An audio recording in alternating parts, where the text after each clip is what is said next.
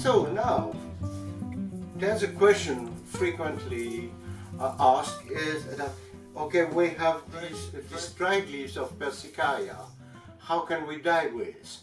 So it seems that it's almost impossible because it is not soluble in water because the cellulose of the plant is dyed actually with the genuine content. So the blue is appearing, so that makes the challenge even more difficult, apparently difficult, because I will show you. First, we need a solvent to, for this extraction to soften the cellulose of the leaves. This solvent is uh, caustic, caustic potassium. We will make ours very easily. So I have this container here. I will put a funnel on it and then some cloth and then I will put some wood ash, any wood, ashes from any wood, that's the neighbor giving that. Of course I did not ask the type of plant, the type of tree, it doesn't matter actually, we are doing kind of prehistoric reconstitution. On that I put water and then I will have the pot ash solution, you know, from the ash and from the pot we have the pot ash. So this solution is interesting because it is slightly basic but when in contact with lime this has potassium carbonate in it. But when in contact with lime it will give a caustic potassium a small amount of course a very small amount but that's enough to soften the cellulose of the leaves and then we will have the extraction of the indigotin. So extraction is not enough because you remember that it must be reduced and also it must be um, alkaline to fix on the, on the fabric. So we will have those things together. Alkalinity will come from the mix we are preparing and then we'll put those leaves uh, uh, to be softened in and I will add a bit of sugar or any sweet matter just to uh, Im improve the reduction because in this mix I have nothing really to reduce correctly. Will, will not be enough sugar in these dried leaves actually because uh, they are not uh, precursors, uh, they are already oxidized so well the form is, is not suitable. So first I need to prepare my potash hmm, from ashes. So we have enough potassium carbonate. I will put my leaves in.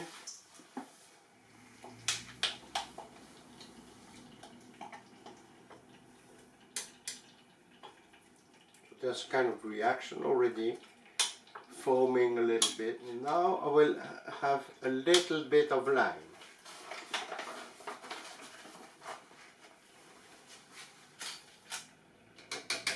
You see it's turning super yellow and then I'm expecting the leaves to go to the bottom. At the moment they are cooked enough, they're hydrated enough, they will go to the bottom. If it's still floating, it means we didn't extract enough must not wait for bacteria to come and reproduce and make plenty of babies to develop civilization. No, no, no, it's not fermentation actually. It is just organic reduction. First blue bubbles appear. Very small amount, but it is a little bit bluish. You see the bubbles coming in the middle of the, of the of the mess. It takes some minutes for the leaves to be hydrated. So now it's kind of a little bit of metallic coat, it means that some of the indigo is already reduced from the content of sugar which is in the plant, which is probably not enough. So I will add a pinch more, but first of all I will try to find a little piece of uh, fabric to test it. Okay, so here we are. We have little blue bubbles. It starts to be bit coppery at the surface. So I guess it is, but the bubbles are pale, they are not, they are not very dark, they are not very big, they are blue, absolutely blue, but they are flat. I want a little mountain of bubbles and then it is floating too much for that. So maybe I will try with more water. I will stir again and I can see that it is improving, improving. So this is time for testing. I will test with a small piece of fabric. Uh, imagine now I'm keen on my uh, lovely silk, so I want to dye the silk in. What do you think? Is it possible? Well, we said if it's very hot, It's hot. Yeah. it will not take correctly. So I will start with a piece of cotton and in case I have result I will add the sugar and I will be able to dye more of wool or cotton uh, but for the silk I will have to be patient enough to wait for it to cool. And at the moment it will cool correctly maybe well not more than 30 degrees I will be okay for the silk. But remember the water is coming from the kettle.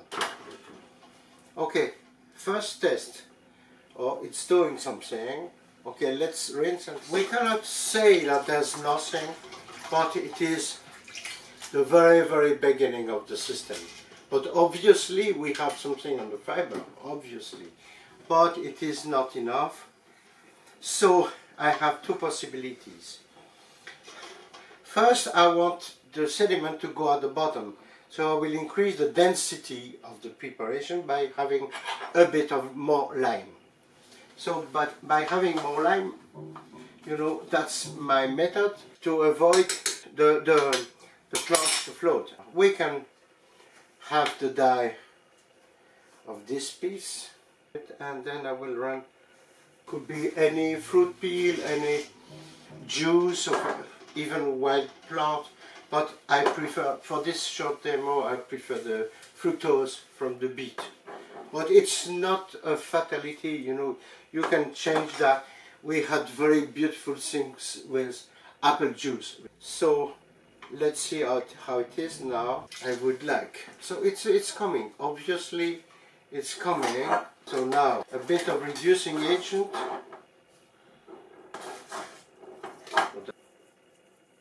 Bubbles are turning a bit bigger. So I think it's on the way. Except it is floating too much, but anyways I'm sure I will, oh yes, I will. Okay, so one minute. We need patience for the sediment to go at the bottom, not to float in between, because you see when rinsing we have plenty of leaves and it is not clean. So I prefer to be patient enough when cooking the leaves, uh, waiting for them to go to the bottom. And then from that, I will have a clean pot. You see, now it is improving. So I will see how it is. Yes, we have it actually. It's coming better. Yeah. So I will change my water and try. We will have it much, much better after some time. But you understand the system.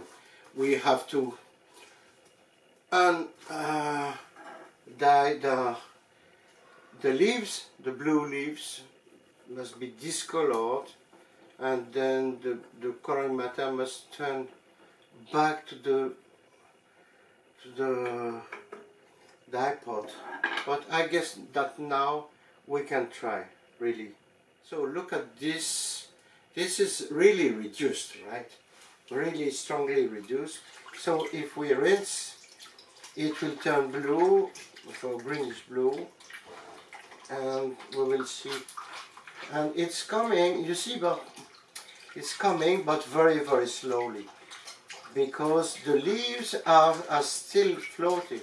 I guess that in one hour or tomorrow, but you see, the difference is quite important. Now, before we soak again, we have to wait for it to really oxidize and maybe after one hour, at the moment it will be cooling, we will try the silk on it of something, but let's see how it is. So the reduction of this leaves, the vat of leaves, is not bad at all. We can see, okay, very good reduction. So it will give a good, a good blue on the cotton. And now, despite it is a bit hot, I will like to try the silk, you see there's harness color appearing. So now let's try that little piece of silk, get an idea of how it is. See that it is in progress, it is changing gradually to get the, the, the blue. So my first dip, oh, that's a terrible sauce, I'm sorry. It was not, it is still floating, but you will see the silk beautiful anyways. That's a very, very simple method to get to this, that beautiful shade on and by repeating you will have it excellent. But that's the first the first step of uh, silk dyeing with the leaves you see. So I will have a second at least a second dip and we will and back to that I will show how to oxidize a bit. But let's finish the one. Of course you can see that the silk is taking a bit darker but even a handful of leaves which is uh, too slow for oxidizing so sometimes we can help with a, a, bit of vinegar. So to eliminate the lime so the oxidization is better maybe I still have vinegar so vinegar here the yellowish shade which could come from the you know the yellowish shade which is from the impurities or, flavonoids of the leaves and everything together with the lime. This is disappearing and now the blue is more honestly blue. Of course this is not rational. It is just a theoretical, theoretical vat to show you that uh, it works and it could be some primitive thing that could be but it is not rational to have the whole bunch of leaves together. So I will rinse that and it will be done for today. Of course with that handful of leaves we can have quite a lot of uh, silk to be dyed in because it, it is a super strong, a super strong dye. So I guess that in the past people just had small quantities. And then at industrial area, they started to import massively, but not the processes, they just imported the same. There's probably less than one gram in that, it's probably maybe 10 centigrams, and even from that you can have some activity ounce of something, you know, but that's easy. So primitive sometimes is helpful to understand things and to, to get the idea of how to make it simple.